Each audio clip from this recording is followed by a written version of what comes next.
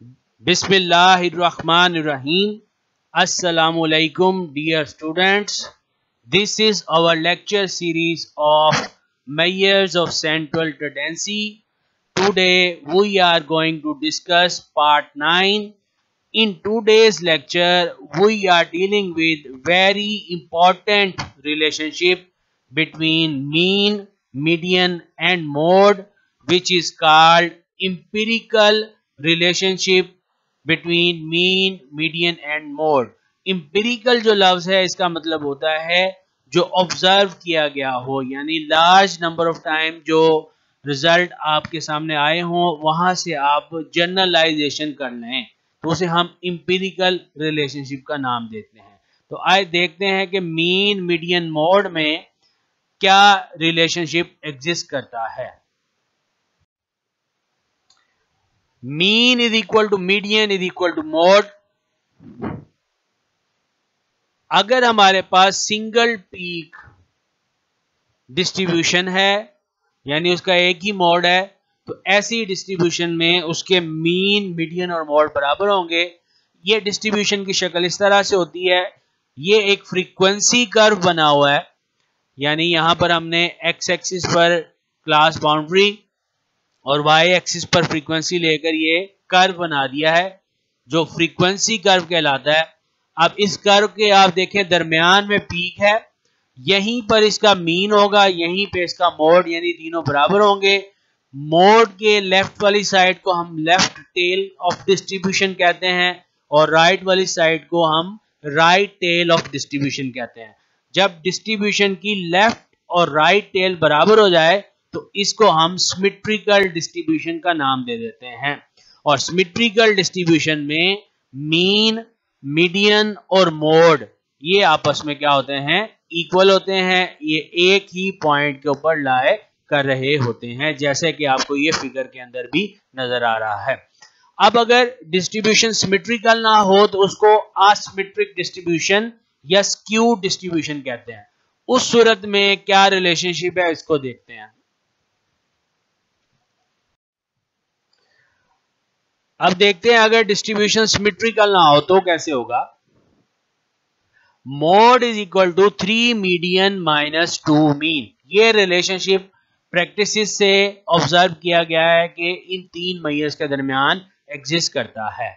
ये आपके सामने तीन तरह की शेप्स आ गई। ये पहली शेप जो मैंने डिस्कस की थी पहले mean median and mode are equal ये सिमेट्रिकल डिस्ट्रीब्यूशन है। इस तरफ़ आपको जो नज़र आ रही है, ये पॉजिटिवली स्क्यू डिस्ट्रीब्यूशन है, इसलिए आप गौर करें कि इसका मोड पहले आ रहा है। और ये वाली टेल इसकी काफ़ी लेंथी है इस वाली टेल से, यानी इसकी राइट टेल लेफ़्ट टेल से लॉन्गर है। तो ऐसी डिस्ट्रीब्यूशन को हम पॉजिटिवली स्क्यू डिस्ट्रीब्यूशन कहते हैं। इसके मुकाबले में दूसरी आती है जिसको हम नेगेटिवली स्क्यू डिस्ट्रीब्यूशन कहते हैं, जो आपके सामने ये आ रही है, इसकी है आपके सामने वो आप देखें कि राइट टेल के मुकाबले में काफ़ी लंबी है। इसमें मोड जो है वो सबसे आखिर में आता है। तो सिमेट्रिकल में मीन मीडियन मोड बराबर हो जाते हैं। पॉजिटिव स्क्यूड में मोड का जवाब सबसे छोटा, फिर मीडियन फिर मीन का आता है।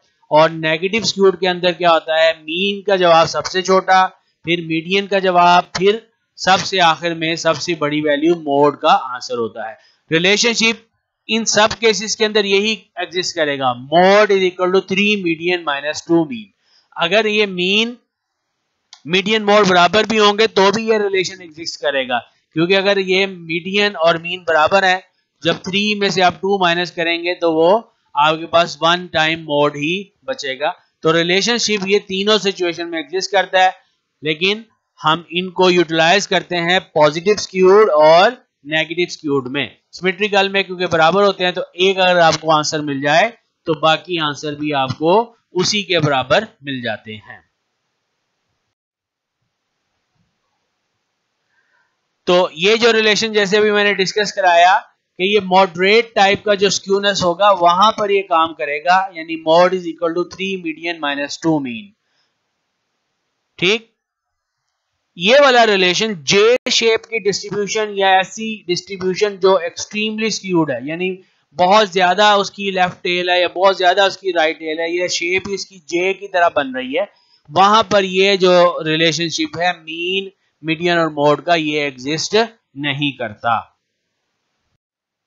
आखिर में देख लेते हैं summary of relationship between mean median mode ये इन टर्म्स ऑफ़ कंपैरिजन आपको समरी बता रहा हूँ। In symmetrical distribution mean median और मोड बराबर होंगे।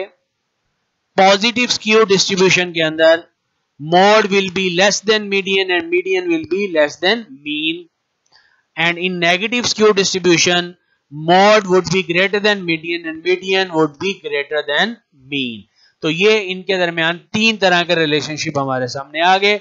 मीडियन जो होता है, ये हमेशा मोड और मीन के दरमियान सैंडविच ही होता है। और क्योंकि ये मीडियन वैल्यू है और 50 परसेंट ऑफ़ डाटा इससे बिलो आना है और 50 परसेंट इससे अबव आना है।